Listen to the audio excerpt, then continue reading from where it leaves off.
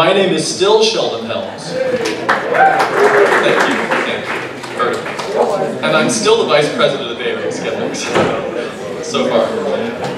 For anyone with even a passing interest in skepticism over the past decade or more, our next guest needs no introduction. Brian Dunning is the creator and host of the popular science and critical thinking podcast Skeptoid, which attracts, according to Wikipedia, over 160,000 listeners each week. That's Brian, very old. Brian says it's more, so he can talk to Susan Gerbic about that. The podcast has garnered Brian the 2010 Parsec Award for Best Fact Behind the Fiction podcast from the Independent Investigations Group, as well as the 2012 winner of the Stitcher Award in the Best Science Podcast category, among other awards. Brian is a tireless educator, not only through his podcast, but also via his video, Here Be Dragons, an introduction to critical thinking intended for general audiences, and his soon-to-be-released educational video, Principles of Curiosity.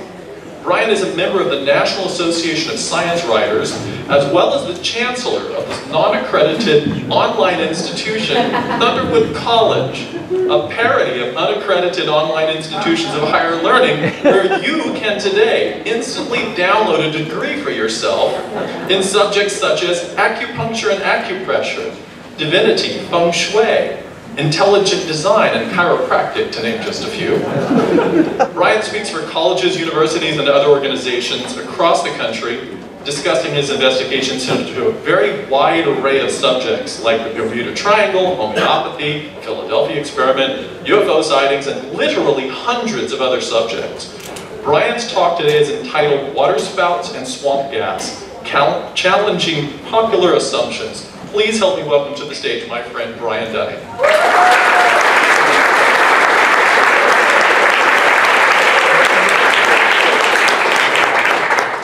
In 1993, a young man stood outside a large wooden compound in Waco, Texas, and he watched as flames and large black billowing clouds of smoke destroyed the complex. He was among a group of onlookers who were there on site, and he watched as some 70 people lost their lives violently. He heard the gunshots, he saw the government agents encamped around the compound, hmm. and this changed him. It had an effect on him. And he kind of became somewhat of a loner over the next couple of years. He began writing letters to the government. He especially wrote threatening letters to an FBI hostage rescue team sniper who had killed the wife of Randy Weaver at Ruby Ridge.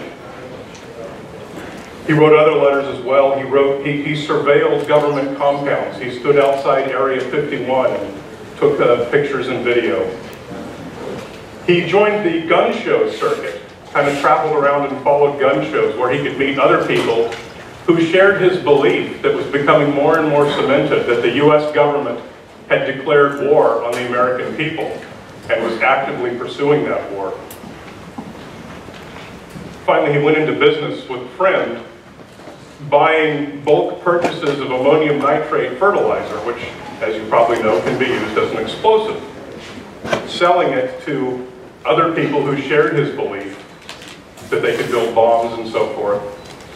And then one day in 1995, he built a bomb of his own. He loaded up a truck with his ammonium nitrate. He drove it outside the federal building in Oklahoma City. He lit a two-minute fuse, and he walked away down the street. Now, if you've ever seen any of these videos from Afghanistan, Iraq, etc., where you see these IEDs, these improvised explosive devices exploding, you've probably seen some smallish ones that look kind of like Hollywood, billowing flames and things like that, and you've probably seen some of the real ones that are on a whole different scale. Bang, and it's an explosion, a debris cloud the size of a skyscraper that appears instantly. It's terrifying. This was that kind of explosion. 300 buildings in Oklahoma City were damaged by this explosion. It knocked him off his feet. He was only a two-minute walk away. And among the 168 people who died inside the building were 19 kids, which only made him America's second greatest mass murderer of children. This happened because of his assumptions, his belief that the U.S. was, the U.S. government was pursuing a war on its citizens. He actively sought out information that confirmed this belief, and he ignored any information. He certainly did not pursue any information that might have challenged his belief. It happened because of faulty assumptions. We'll come back and talk about Timothy McVeigh again a little bit later. But that's heavy. Let's lighten up a bit. This is a fish. Any questions? No? That's the end of my presentation. Thank you very much. Thank you. Who is a fish? So for hundreds and hundreds of years, fish have been reported to fall out of the skies. Sometimes it happens during a rainstorm, sometimes it happens out of a clear blue sky. And other times frogs are also reported to fall out of the sky, sometimes during a rainstorm, sometimes out of a clear blue sky. And these reports continue today. There was just one, if you follow the skeptical web pages on Facebook or anything, you may have seen one reported just a, a week or two ago. Well, if you've ever seen this reported in the mass media, then you've probably heard this explanation. Water spouts. The most common explanation, sciency sounding, is that water spouts reach down into some water somewhere, find a school of fish or a school of frogs, elevator it up into the sky, transport it hundreds of miles inland, and deposit it in one neat little group somewhere.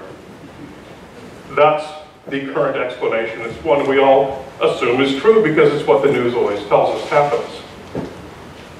But there's another strange phenomenon I also want to talk about today, and that's mysterious lights in the sky. For hundreds and hundreds of years, this is by no means a 20th century, 21st century only phenomenon. People have been reporting mysterious lights that they see in the sky. Are they UFOs? Are they aliens? Sometimes they're not always on the sky. These are the Brown Mountain lights in uh, North Carolina. Someone correct me, is that right? North Carolina. North Carolina? What? North Carolina. Okay, I didn't need to be corrected, because I'm Mr. Skeptoid. Skeptoid.com. Ghost lights like these have been reported all over the world. By no means is this the only location. They're mysterious lights that people see that there's no evident source for. Sometimes they're in the sky, sometimes they're at ground level, like these are. Some of them, like this one in Thailand, you can actually go and see for yourself. This is the Naga Fireballs, an annual festival in Thailand, where these, uh, the, they've got cement bleachers that have been built here because this is now the major tourist industry in this area. These extend for over three miles along this side of the river. That's quite a construction project, three miles of cement bleachers. But if you go there during this festival, you will see mysterious lights rising up out of this river and flying up into the air. They are believed to be fireballs spit by the Naga, a river serpent, but you will actually see them. We can talk about the cause of that, which you already know if you listen to Skeptoid, or we can talk about it in the Q&A afterwards. So, for many of these cases, what causes these ghost lights that people see, whether they're at the ground, whether they're up in the sky, and you'll almost always hear swamp gas. Swamp gas is proposed as a possible explanation for these. It was first proposed by author J. Allen Hynek, a crazy person, as a possible explanation for some of the lights that he thought might possibly not be alien spaceships, which he thought were the vast majority of ghost lights. So, this is real swamp gas. Real swamp gas is a terrible explanation for those. It's caused by the decomposition of organic matter in a swamp or some such place. It's mostly methane.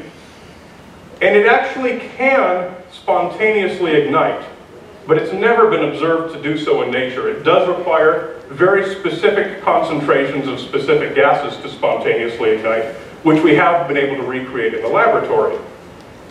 When it does ignite, it goes pop with a sudden blue-green flash and it's gone in an instant. At no time does it ever burn yellow or orange or float up into the sky as a constantly glowing fireball. It's completely different from what its proposed explanation would have you believe. So what's the real cause of these, these ghost lights? But we don't know. It's various things. Each one of them has different explanations. I've talked about a lot of different ones on the, on the Skeptoid podcast. They're different things. One is a train light seen way off in the distance. Others are lights seen over the horizon because of a mirage effect. They're various, they're unidentified, but they're certainly not swamp gas. We can tell that for a fact because we've tested it. So, how about this explanation of water spouts for fish falling out of the sky? Wait a minute, why are you laughing? Because if you're saying water spouts distribute fish inland, then you're saying Sharknado is a factual documentary. you can't have it both ways, folks. You can't laugh at one and not the other. So this is an actual water spout. That visible column you see is not a solid column of water moving upwards like an elevator. It's simply the lowest pressure zone of the tornadic water spout, as we call it. And it's, it's visible because that's water vapor, which is more visible than, than air. It's low pressure zone. It's not an upward elevator. The air inside is not moving up. There is no elevator mechanism. There is nothing about a water spout that could lift things up in the air, or certainly they could reach down into the water either. They simply don't work that way. Snorkelers have had water spouts go right over their back while they're in the water and not, known, not been aware that anything happened. Sometimes in, we see in tornadoes, we see debris flying around in the air. We see water flying around in the air. That's just stuff getting kicked by the horizontally moving wind. It's moving horizontally in a vortex. It's not moving vertically. It's not moving up that water spout. So then we ask, what might be the true cause of these frog and fish events? Well, we certainly don't know what all of them are because we have very little information on most such reports. But for many of them, we can certainly trace them down to something as mundane as this. The fish were already on the ground. There are a lot of species of fish that do natively come up onto the ground, often in schools. And you'll see a bunch of fish on the ground. You think, what the heck is that? They must have fallen out of the sky. People couldn't guess how else they got there, because how many of us have seen fish on the ground at random? None of us, right? Because it just doesn't happen that often because we're not familiar with these species of fish. What you're seeing right here is a walking catfish. It's native to Southeast Asia, but it's now become an invasive species, and it's found all over the world, particularly in Florida. And you'll see these guys getting reported as fish falling out of the sky in Florida quite often. Oh. There are 18 species of mud skippers. Now these are kind of weird alien looking things, and I don't expect that these are the cause of many of the reports of fish falling out of the sky because you'd say aliens fell out of the sky if you saw these. Nevertheless, there are another species of fish. There's 18 species of these in Asia, India, and Africa. But the king of all fish fall reports are the climbing perch. It looks exactly like a regular perch. There are 36 species of climbing perch throughout Africa and Asia, and India is where you'll find most of these reports coming from. And the climbing, climbing perch is not new to science. This is an old engraving, whatever it is. It's new to most of us because how often do we go outside and see perch walking around on the ground? Not very often. So when people do see a bunch of fish on the ground, they say they must have fallen out of the sky because I can't think of any other explanation. But people who study this kind of fish can easily tell you, yes, these were simply climbing perch, doing what they normally do, which is they move from a pond to a river each season to spawn or whatever it is that they do. And the same goes with frogs. Frogs often will move between one pond and another pond to spawn or to feed, and they almost always do it in a big mass migration, especially in places like Florida, where most of these cases are reported from. And they like to do it in the rain. The reason they like to do it in the rain is because they're amphibians and they like their skin to stay wet. They don't want to get dried out. When you see a really hard rain falling, and most of us have been in Florida during a really hard rain, it's really hard. Those raindrops hit, they bounce, they splatter, you see stuff all over the place, you see frogs jumping. It looks exactly like these frogs are falling out of the sky and bouncing. That's kind of what you see in this picture here.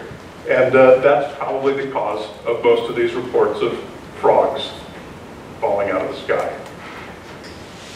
Now these water spouts and swamp gas, these are, these are kind of fun stories, but they're really not all that relevant to our daily lives, are they?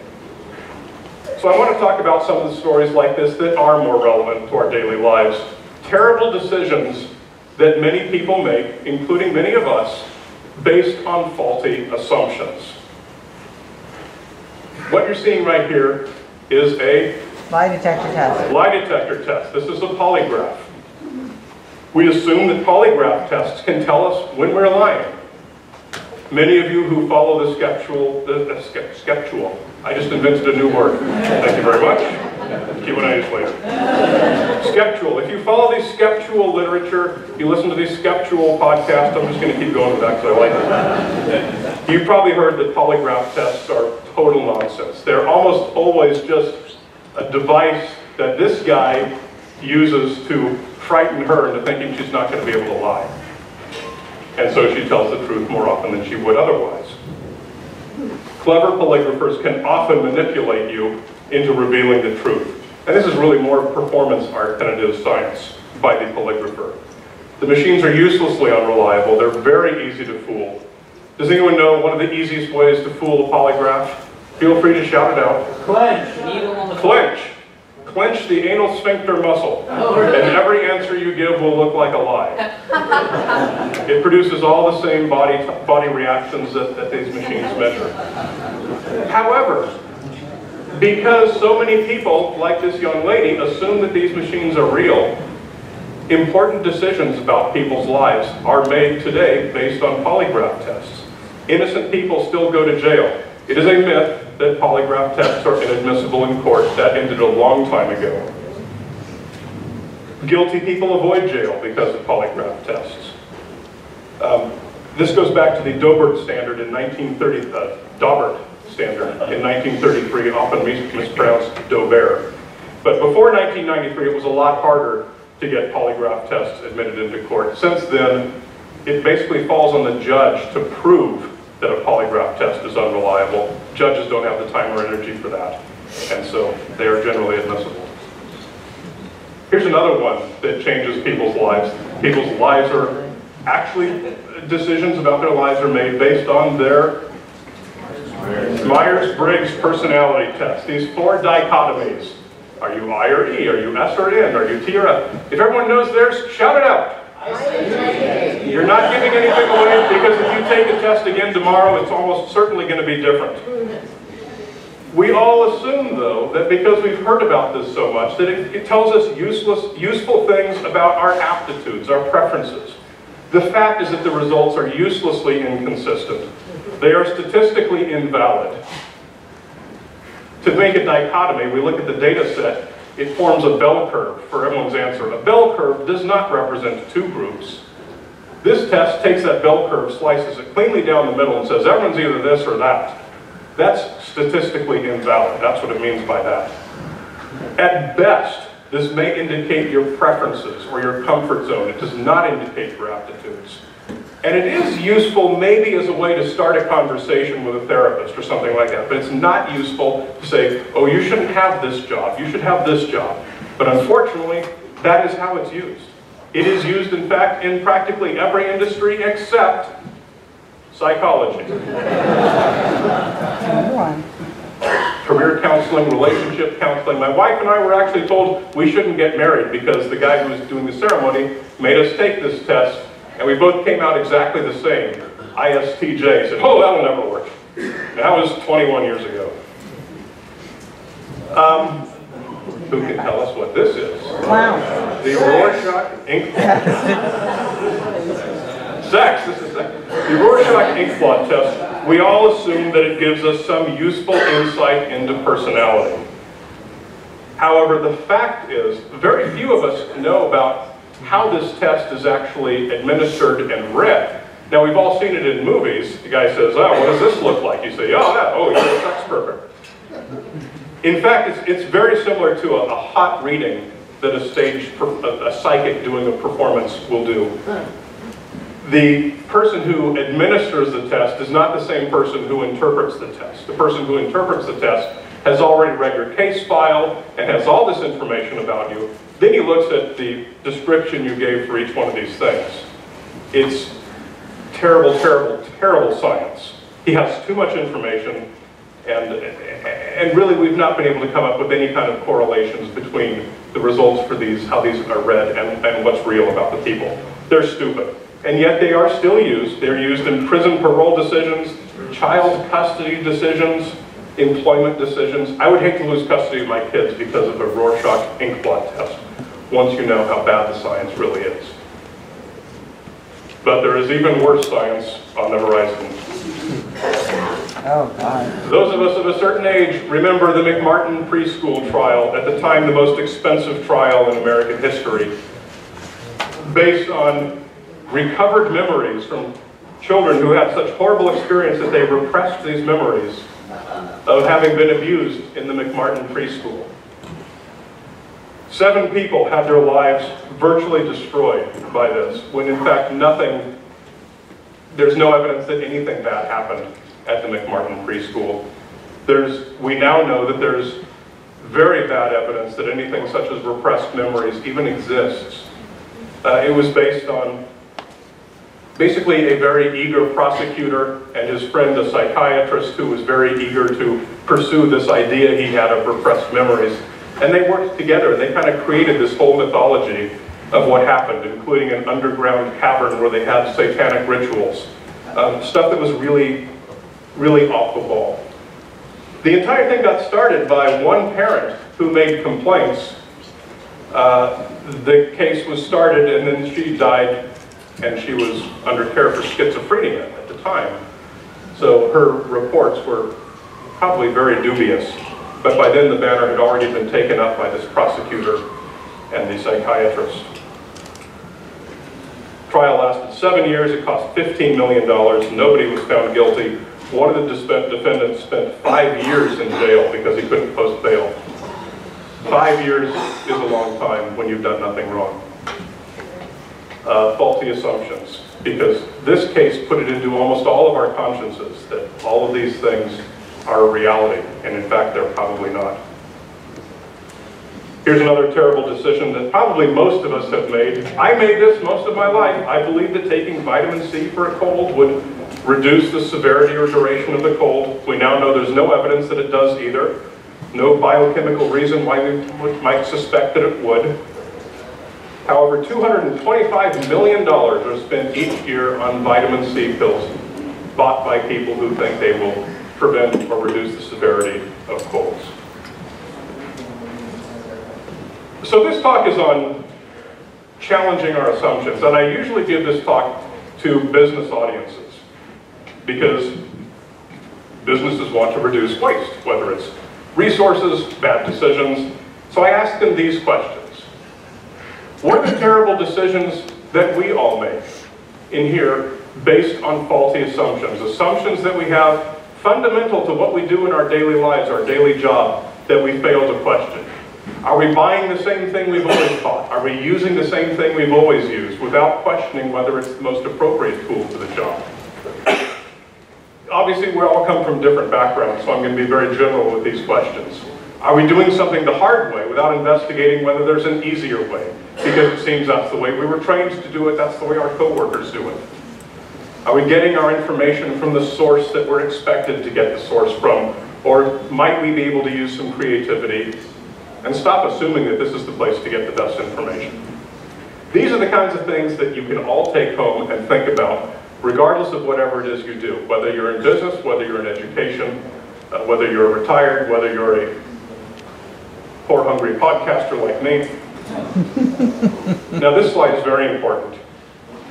And it's very important because I include it in all of my presentations. It's in case someone comes in the room, it looks like we're doing work. Okay, so what? I just told you that's what it was. Let's talk about wasted resources now. Wasted resources because of faulty assumptions. Uh, would anyone like to tell me who this fellow is? He's a real animal, not a Bigfoot, Yeti, etc. Who is he? Who? Gigantopithecus blacki. This is the largest of the three species of Gigantopithecus. Is Jeannie still in the room? Oh, good. Oh, no, darn it, there she is. She's been one of two people who have corrected this section of this presentation in the past. There are insane Yeti hunters in the world who spend real money and spend parts of their lives investigating the abominable snowman in Asia because this was a real animal. They say this is a zoological precedent for what we believe is this cryptid that may exist, the Yeti, the abominable snowman. That's not true. That's a faulty assumption. They've heard a little bit of information, they take the part that confirms their preferred belief, they ignore the part that doesn't, or they don't bother to learn anything more about it. Because everything we do know about Gigantopithecus absolutely positively excludes him as a potential candidate for the abominable snowman of legend. And that's basically two things. We can know basically two things about him. We have his teeth and his jawbone fragmentary jawbones, and quite a few teeth of Gigantopithecus blacki. From the teeth, isotopic analysis of the tooth enamel tells us what he ate. And it was basically bamboo and fruit. He did not like to expand his diet, didn't eat anything other than that. And how much bamboo and fruit is there on the slopes of Mount Everest? Very little. The abominable snowman was not Gigantopithecus. The other thing we know about him is his size. From the dimensions of the jawbones, we know that he was a top-heavy ape, something like gorillas. They're always hunched over like this because they're top-heavy. We also know his great size from that. There are no top-heavy animals of such great size who walk on two legs. They're all quadrupedal.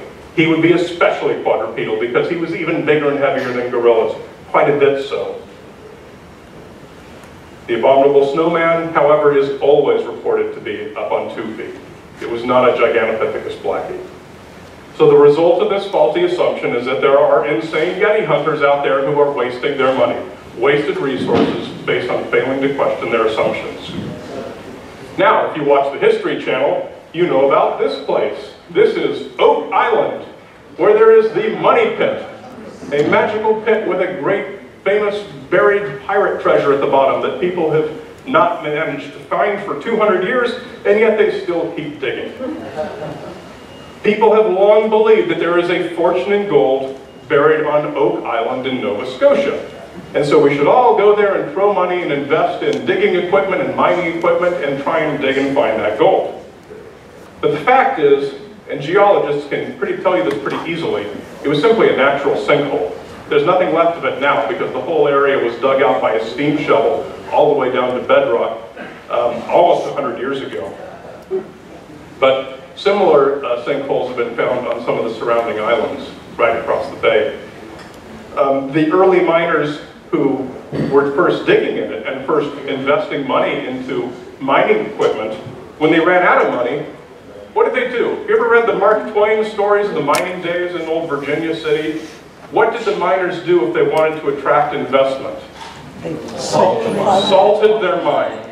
They would take a couple little gold links of chain and throw it in and say, oh, look at this, evidence of the pirate treasure.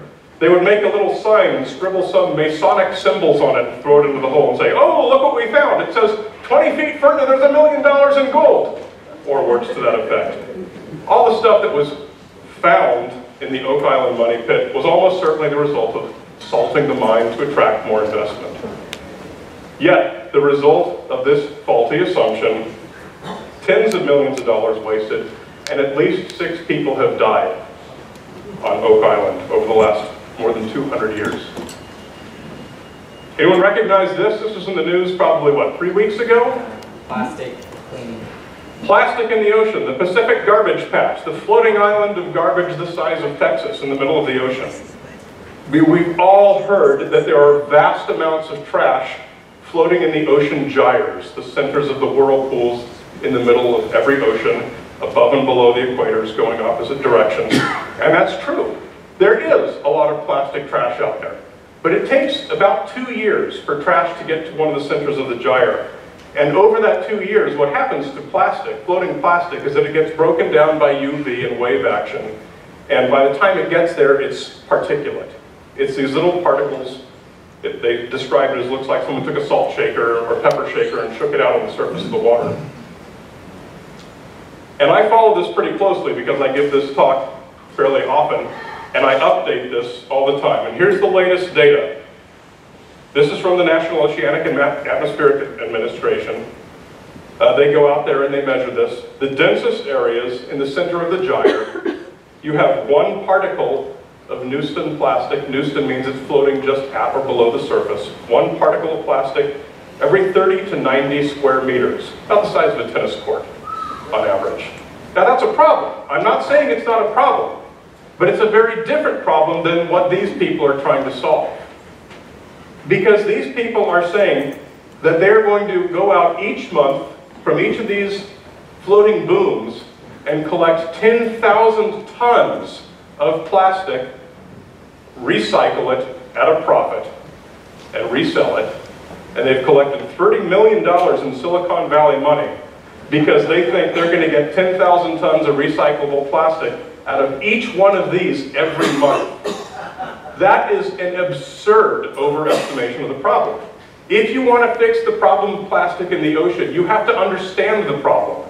They misunderstand the problem. Their assumption is ridiculously wrong. And so that money is going to be wasted. And by no means is this the only group doing this. There's a bunch of other proposals trying to do the same thing. The one on the top left is supposed to be fueled. This boat is going to be autonomous and it gets fueled by burning the plastic that it scoops up. One particle every 30 to 90 square meters. Here's another faulty assumption that a lot of people make that you can make money from a multi-level marketing program. For most people, it's a business opportunity like any other.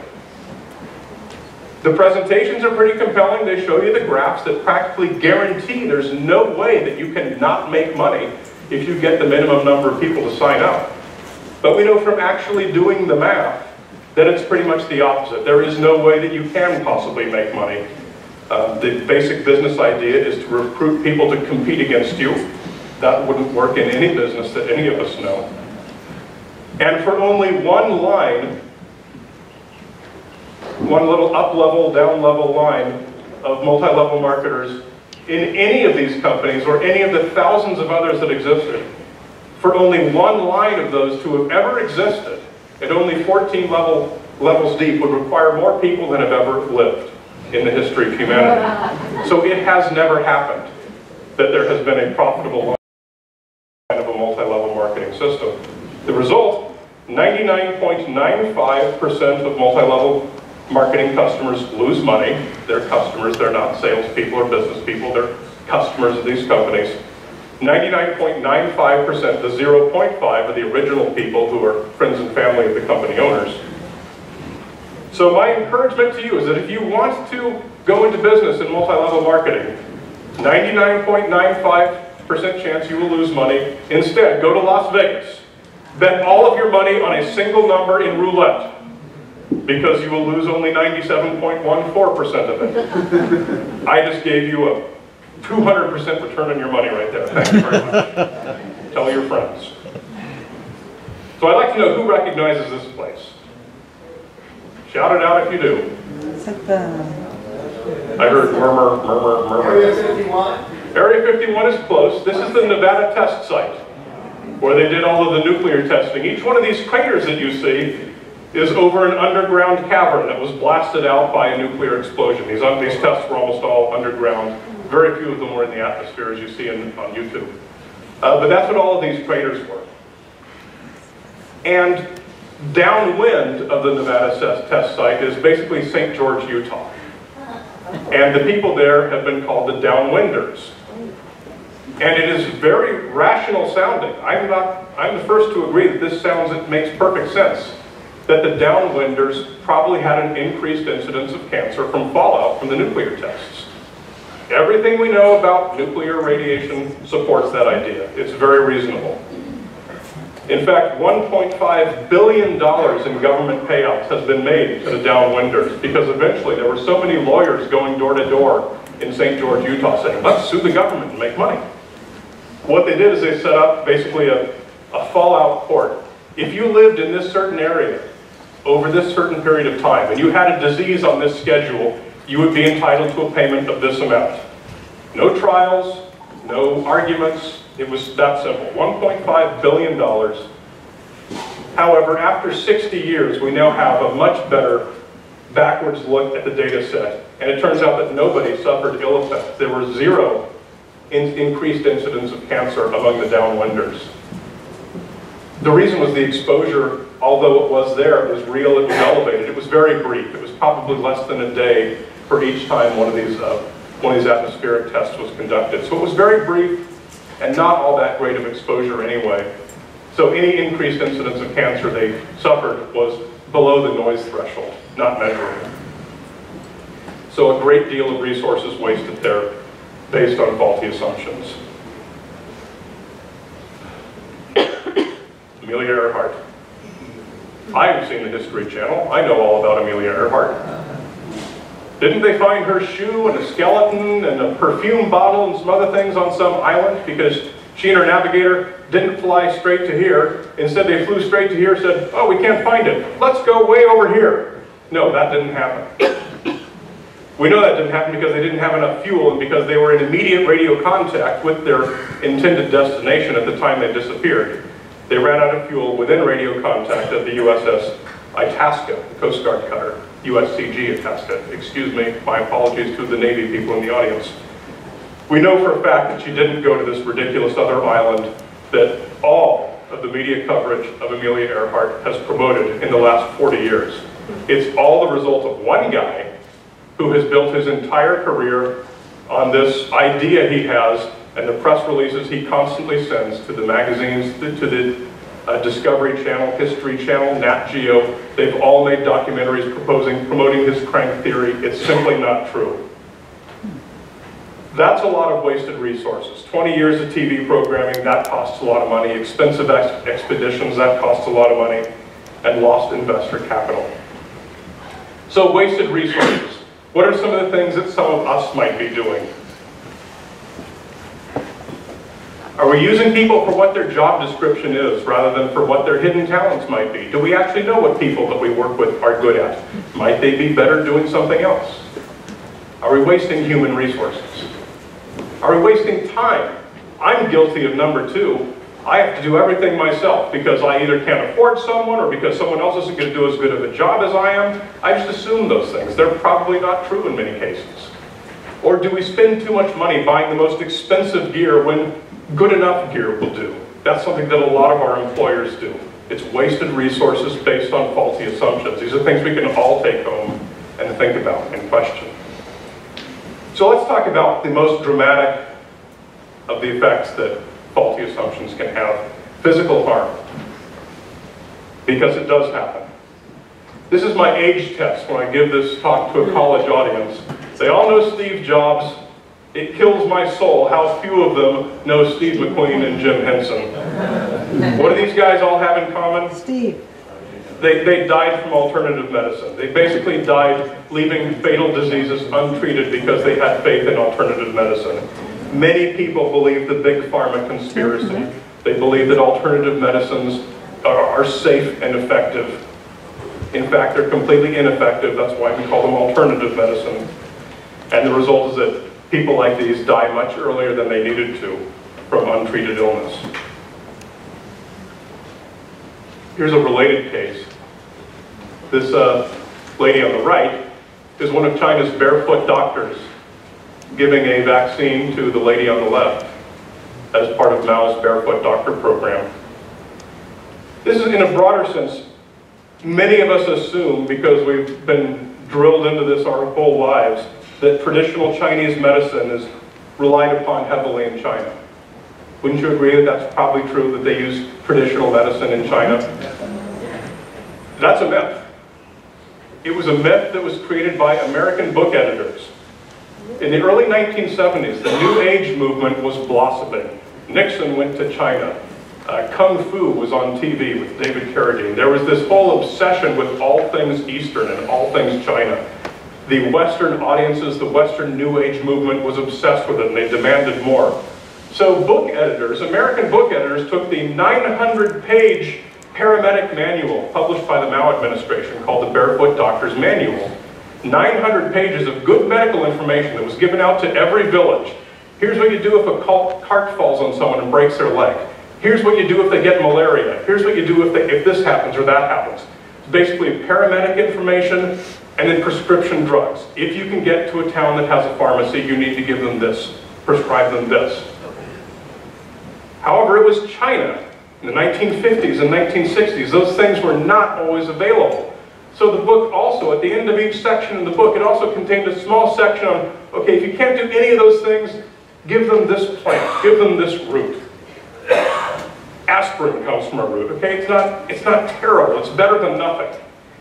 American editors cut out 600 pages of real medical information, real paramedic and first aid information from the Barefoot Doctor's Manual and published it as a concise edition of the Barefoot Doctor's Manual, 300 pages left. American audiences loved it. And all you get as an American reader is the fact that, oh, Chinese rely entirely upon herbs for all their medicine. Simply wasn't true.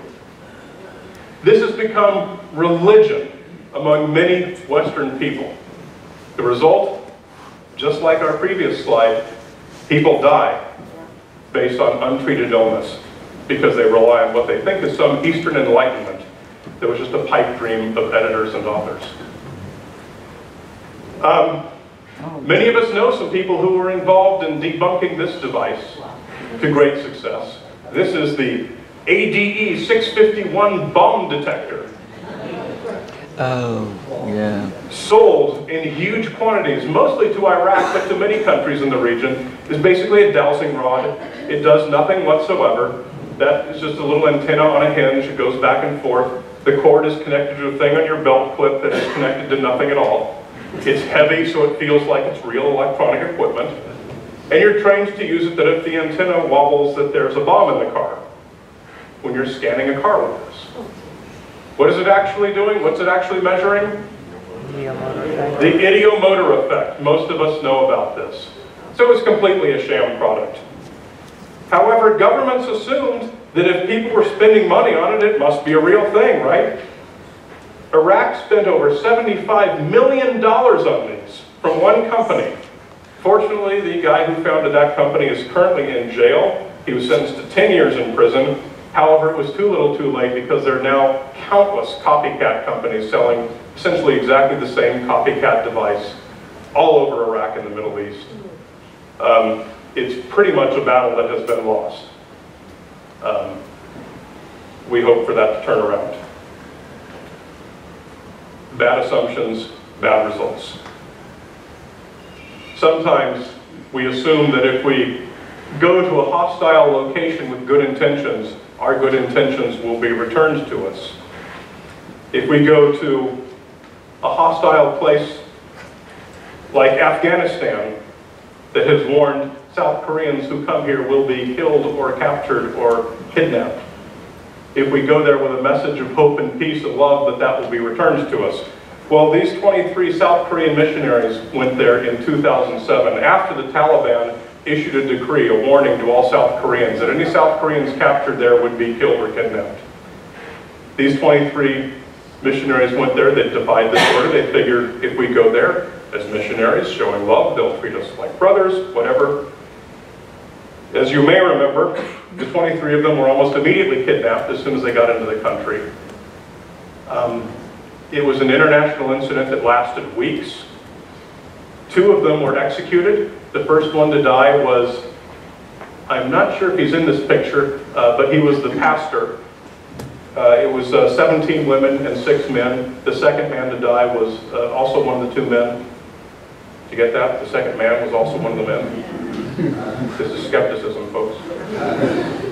Uh, two of the women were returned as a sign of goodwill after they murdered two guys um, South Korea finally agreed to pay a $20 million ransom and to pull all of South Korea's troops out of Afghanistan.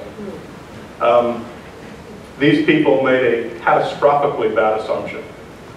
Um, they were so invested in their belief, in their preferred belief in the humanity of man or whatever it was, or good, good Christian treatment that, that their feelings would be returned, and of course they weren't. Um, I'm going to be really, really brief on this last one because I've talked about this a lot on the podcast and because I'm getting short on time, there's one thing, a very important thing I want to get to. So we've got on the uh, left, we have Chernobyl. Chernobyl. And we have on the right, oh, you're wrong. It's a coal-fired power plant. Everyone yells uh, Three Mile Island. No. So the assumption that many people have made is that Chernobyl proved that nuclear energy is too dangerous to continue with. And I could go on about this at length, so I'm just going to truncate it very briefly today. Go to skeptoid.com and search for nuclear if you want more of my thoughts on this. But uh, the nuclear reactors that are being designed today uh, have no potential to do what happened in Chernobyl. That's like saying a car might fly up in the air like a hot air balloon. Uh, There's complete, simply completely different uh, devices. Um, From all non-Chernobyl reactors in history, zero cases of future cancer are predicted from all nuclear accidents. And it's not just Three Mile Island and Fukushima. There have been many, many, many nuclear accidents, particularly on naval vessels. We've got a lot of nuclear reactors that the rest of us never hear about. They have accidents on those, leaks and things like that.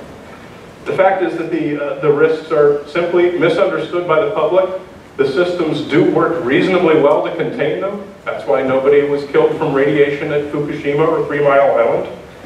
But the result is that the nuclear industry was completely crippled in the 1980s. And despite zero people dying from non-Chernobyl style reactors, we increased our reliance on coal-fired reactors to the point that even today, 60,000 people a year die in the United States alone from lung cancer caused by particulate air pollution from coal-powered reactors. That's 60,000 deaths a year compared to zero, because so many of us were so compelled by this popular belief that nuclear power is too dangerous to use. Anyway, I know there's a lot of arguments and a lot of subtleties about this and a lot of counter arguments. I make, I handle all of those on the skeptoid.com website. What I want to get to is uh, your final thoughts. Physical harm. And we don't all think, gee, my, my faulty react, uh, assumptions that I make might cause physical harm, but they might. What about driving on ice? Maybe you think, oh, I'm a good enough driver, I can handle that. What about hiking in the woods? Maybe you think, oh, I'm, where's Kevin? Oh, my feet aren't going to get plantar fasciitis if I try. Sorry, Kevin. Um, I'm not going to get lost in the woods and die. I've had two or three beers, I can drive safely. These are all the kinds of assumptions that we all make that are wrong. So I've got 30 seconds left. I'm going to skip to my final thing here. Um, I promised I'd come back to Timothy McVeigh. 16 years ago today, June 11, 2001, Timothy McVeigh was executed by lethal injection. So you think about something that happened that today is the anniversary of that brings it a little bit closer to home. That faulty assumptions are closer to many of us than we think. And that we might be making faulty assumptions today that are impacting our lives. Our lives might be a lot better if we made fundamentally different decisions about some of the things we do. What do these assumptions cost us? How do we fix them?